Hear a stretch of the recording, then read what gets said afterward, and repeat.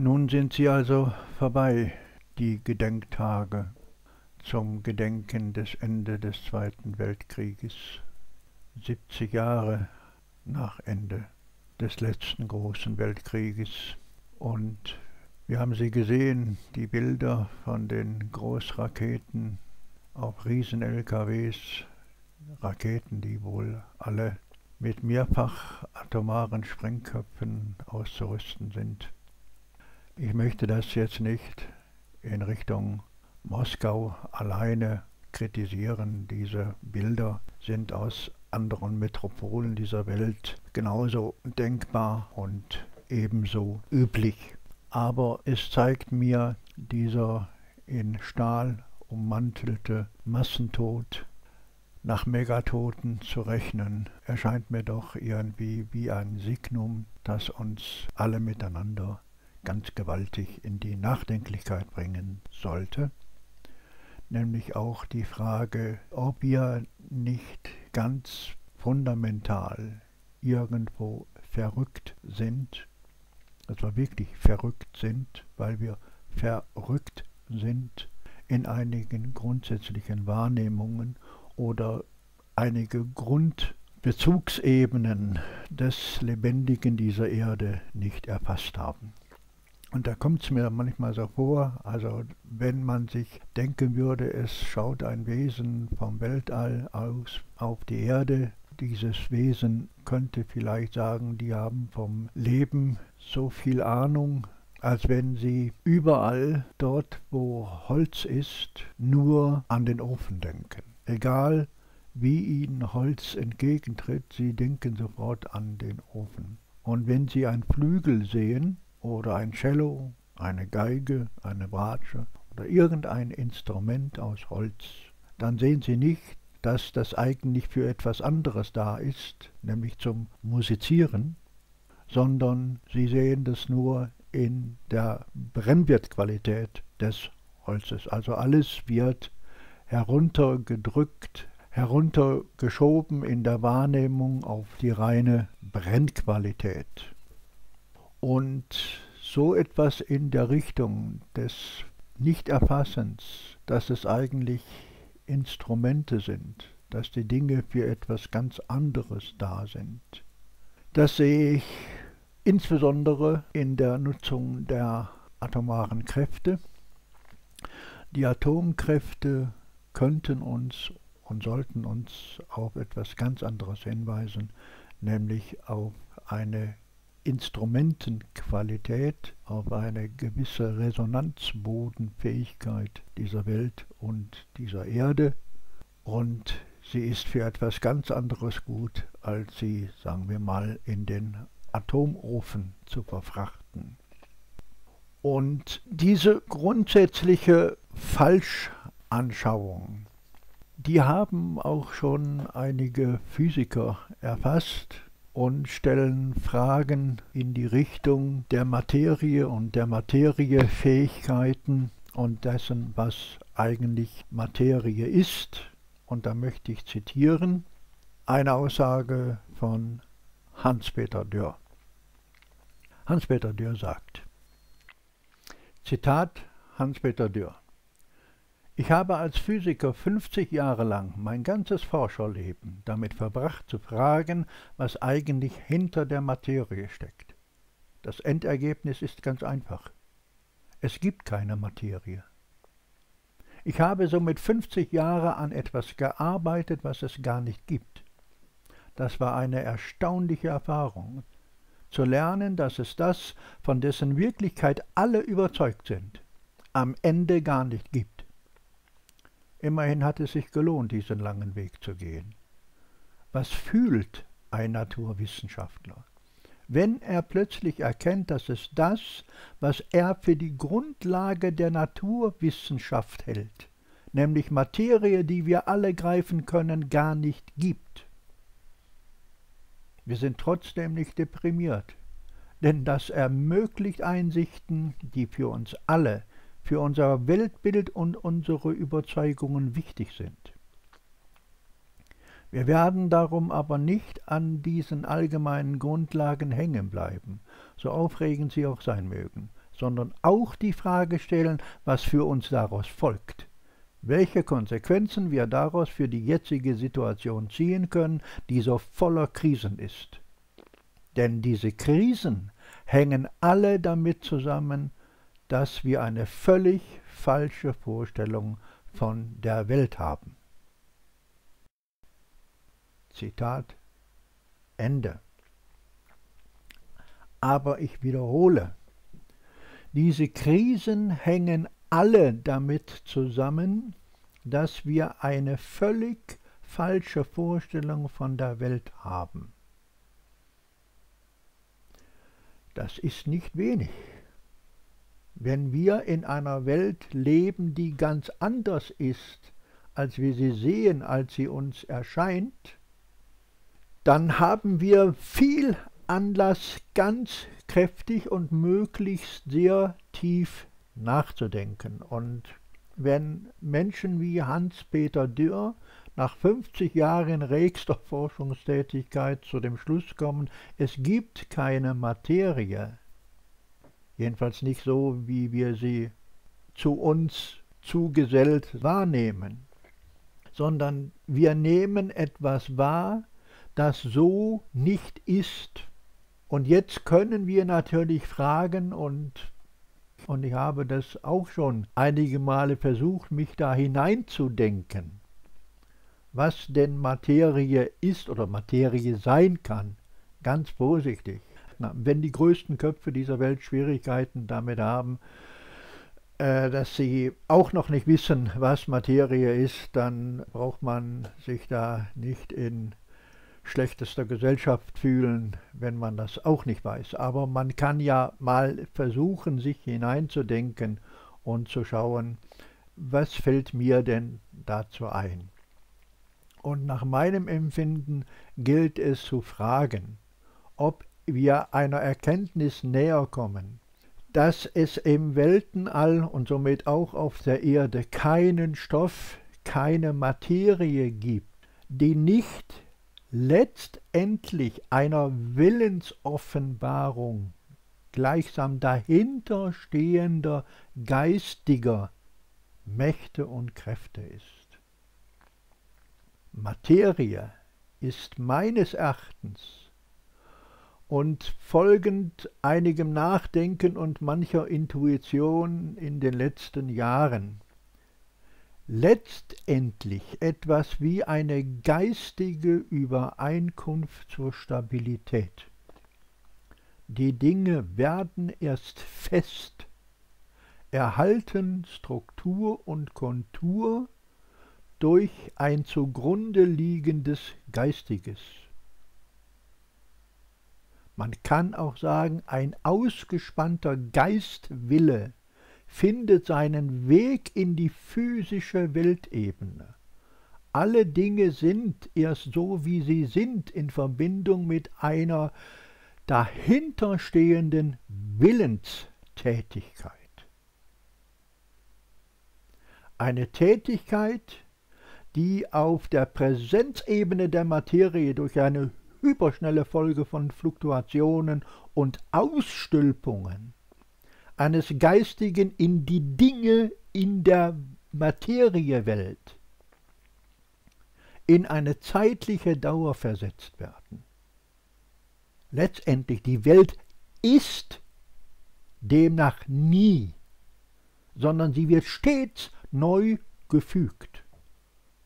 Das sind vielleicht die Passierchens oder die Beziehungen, die auch von Hans-Peter Dürr benannt worden sind. Nach meinem eigenen Mitdenken sind wir in eine Welt involviert, in der Leben zu leben und Bewusstsein zu Bewusstsein strebt und in der eigentlich in unserem Zeitfenster etwas ganz anderes angesagt sein sollte, als das, was im Großen und Ganzen die Erde beherrscht, knechtet und an den Rand der Tragfähigkeit treibt. Und es war Werner Heisenberg, bei dem ja auch Hans-Peter Dürr mitgearbeitet hat. Es war Werner Heisenberg, der etwas erfahren hat, was er genannt hat, die Melodie der Atome. Ja, die Melodie der Atome. Interessant, nicht, dass so viele Atomforscher auch sehr gute Musiker waren. Heisenberg eben. Die Melodie der Atome. Könnten wir nicht schon seit Jahrzehnten Atomenergiepotenziale in einer ganz anderen Richtung erfasst haben, nämlich eher im musikalischen, denn im maschinellen und vom militärischen mal ganz zu schweigen. Ziehen wir in unserer Nutzungsebene der atomaren Energien etwas in eine Sphäre hinunter, die wirklich das allerletzte Ende der Möglichkeiten sind, können wir nicht wahrnehmen, dass Atomenergien auf der anderen Seite in ganz andere Lebenszusammenhänge, in ganz andere Schöpfungsprozesse hineinzubringen wäre, als dass wir sie über Uranverbrennung, sag ich mal, in den Atomofen verschieben und nicht einmal wach werden, wenn uns daraus nur der Tod entgegentritt. Und das vollkommen lebensfremd ist, so lebensfremd, dass wir uns nur in Schutzanzügen den letzten Auswirkungen dieser energetischen Umsetzung nähern können, nämlich die Radioaktivität zerstört alle Lebensprozesse löst vor allen Dingen den Menschen schier von innen auf und wir sagen, ja, ist alles Brennholz, alles in den Ofen und in den Reaktor und bauen unsere Riesenmaschinen und bringen das ganze Erdenleben damit in die Todeszone hinein.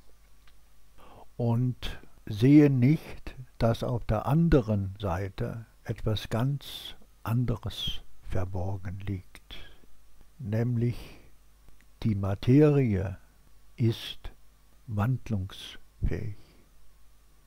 Man kann auch Materie nach oben aufbauen, nicht nur nach unten zwängen, nicht nur im Reaktor Kernzertrümmerung betreiben, Kernzerfall, sondern durch des Menschen geistige Fähigkeiten. Da müsste man schier sich erinnern an die Sphären von Ora et Labora. In diesen Sphären, wo Arbeit anders eingegliedert ist, wo Menschenarbeit in, anderen, in einen anderen geistigen Zusammenhang treten kann, auch mit Schöpfer Mächten dieser Welt, Schöpferkräften dieser Welt in Beziehung treten kann. Dort ist anderes möglich, Neues möglich. Und diese neuen Möglichkeiten sind nach meinem Empfinden eben sehr stark oder praktisch elementar mit den Wesenskräften verbunden, die mit dem Christus in die Erdenwelt eingetreten sind.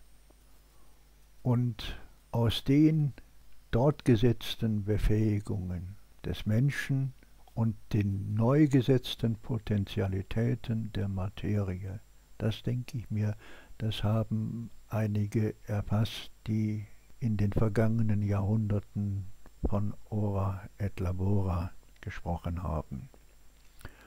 Und in diesen Zeiten und Tagen kommt mir immer wieder auch etwas in den Sinn aus Goethes Faust, wo es eine Kernszene gibt, wo der Faust davon spricht, ich lese mal vor, zitiere mal, Wir lernen das überirdische Schätzen, wir sehnen uns nach Offenbarung, die nirgends würdiger und schöner brennt als in dem Neuen Testament. Mich drängt's, den Grundtext aufzuschlagen, mit redlichem Gefühl einmal das heilige Original in mein geliebtes Deutsch zu übertragen. Geschrieben steht, im Anfang war das Wort. Hier stock ich schon, wer hilft mir weiter fort? Ich kann das Wort so hoch unmöglich schätzen, ich muss es anders übersetzen. Wenn ich vom Geiste recht erleuchtet bin, geschrieben steht, im Anfang war der Sinn. Bedenke wohl. Die erste Zeile, dass deine Feder sich nicht übereile. Ist es der Sinn, der alles wirkt und schafft? Es sollte stehen, im Anfang war die Kraft. Doch auch indem ich dieses niederschreibe, schon warnt mich was, dass ich dabei nicht bleibe. Wie hilft der Geist?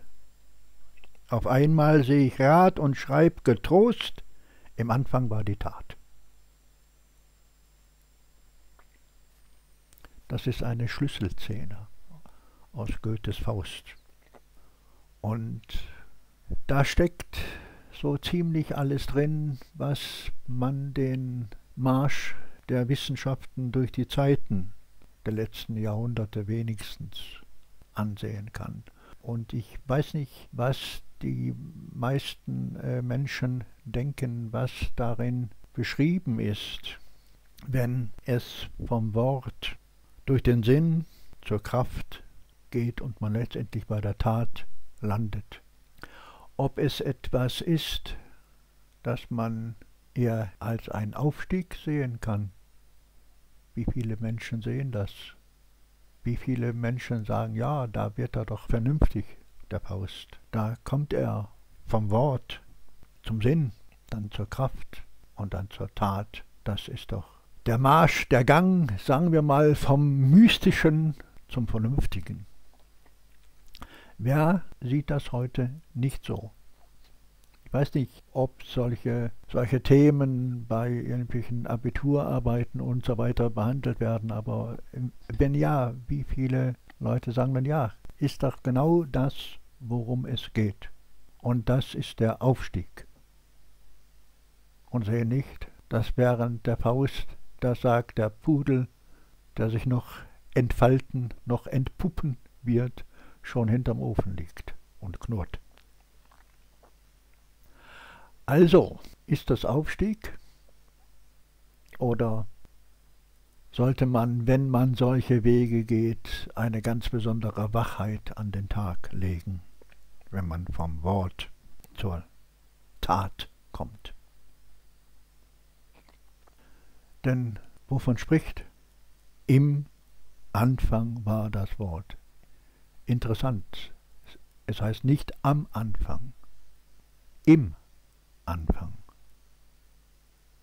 Im Anfang war das Wort. Das Wort, wovon zeugt das Wort? Worauf weist uns das Wort hin? Das Wort ist verbunden mit Wesen. Mit Wesen, ein Wesen, das sich aussprechen kann. Aussprechen, das sich äußern kann. Und das Bewusstsein hat, dass es sich so über eine Aussprache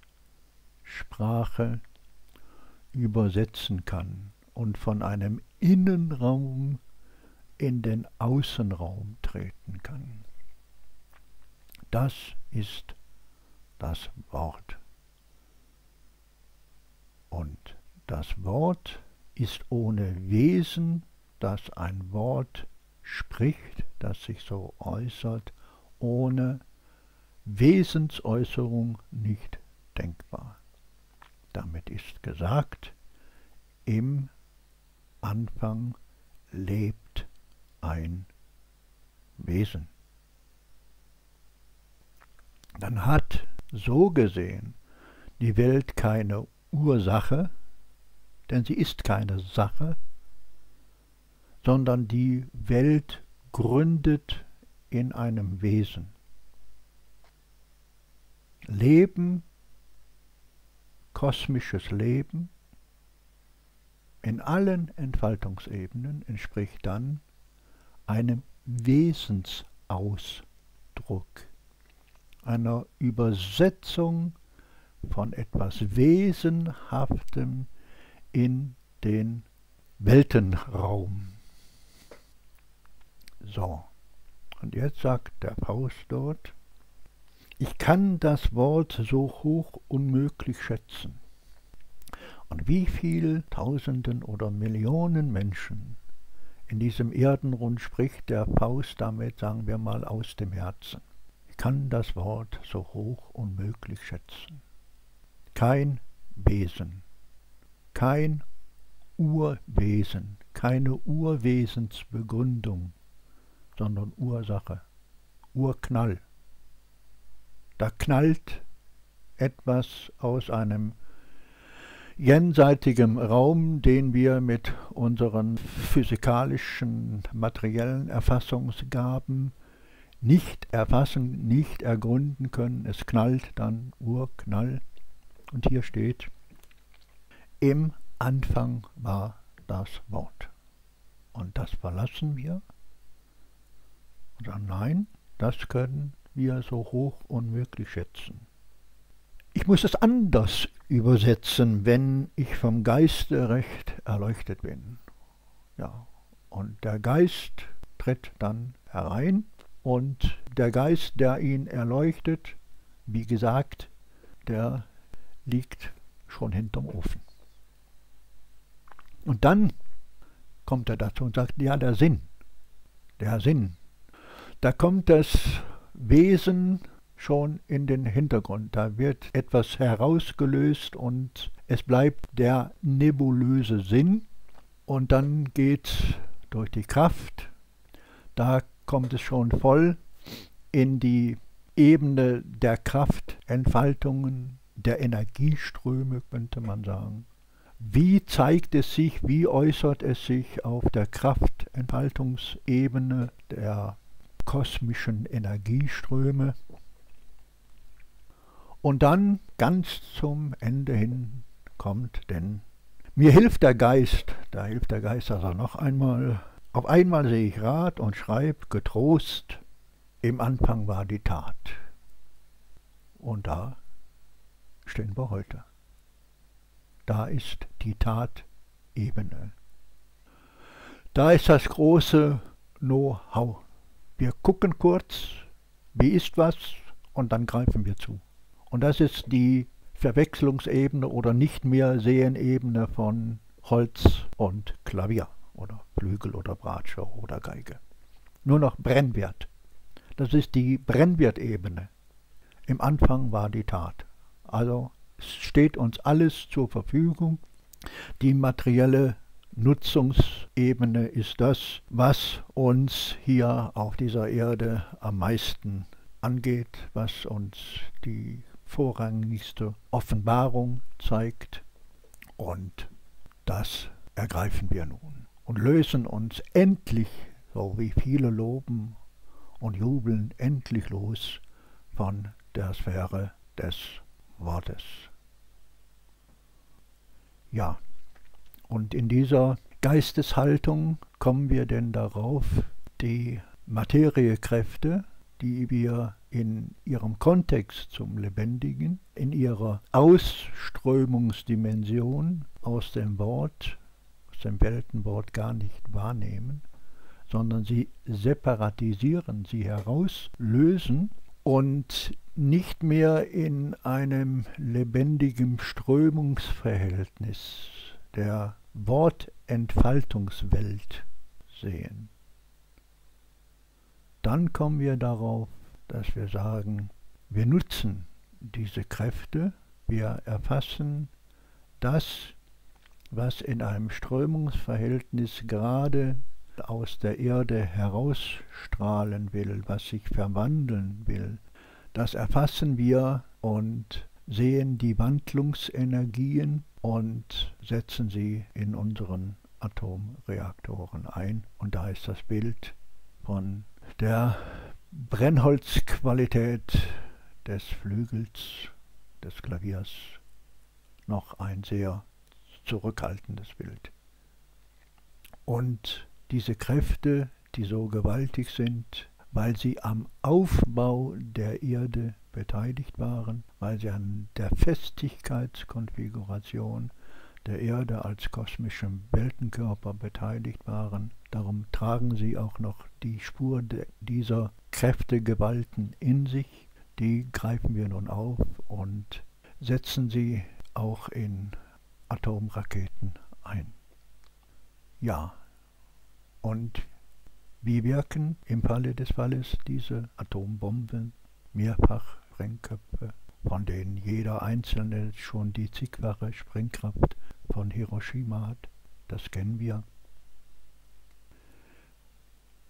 Wir sind drauf und dran, uns so an Vergangenheitskräfte dieses Kosmos anzuschmieden, anzuketten, dass wir bedroht sind, unsere Zukunft zu verlieren, unsere Zukunftsfähigkeit. Und wenn man sich nur dem Gedanken annähern kann, dass der, der hier beim Faust hinterm Ofen liegt und sich später als Mephistopheles in den Raum stellt, dass damit hohe Geisteskräfte verbunden sind, die so im Kosmos wirksam sind, dass sie in einem Bild den Menschen auf seinem evolutiven Weg, und der evolutive Weg ist auch mit einer Geistesentwicklung verbunden auf diesem evolutiven Weg, sagen wir mal, 10 Kilo Blei in goldenes Geschenkpapier verpackt und ihm ans Knie heftet. Dann ist eine solche Verhaftung, ein solches, ein solches Verunmöglichen von Zukunft mit Sicherheit in der Nutzung der atomaren Kräfte in der jetzigen Gestalt verbunden, sowohl zivil als auch militärisch. Wenn wir Augen haben, ganz einfach zu sehen und vielleicht auf ganz einfache Gestik zu schauen, wie, in welcher Gestalt, in welcher Ausdrucksebene tritt uns was entgegen, dann müssen wir sehen, dass die Atomenergien mit einem sehr tiefen Todesmoment verbunden sind. Das sind Todesenergien und sie werden den Menschen tiefer ergreifen als andere Energien. Das Atomfeuer ist ein anderes Feuer als alles Feuer, das auf der Welt war bisher. Das Atomlicht ist ein anderes Licht. Es ist das Schwarz Licht das schwärzestmögliche Licht, die Umpolung von allem Lebendigen. Und vor dieser Entscheidungsdimension stehen wir mit den Atomkräften in unserer Zeit.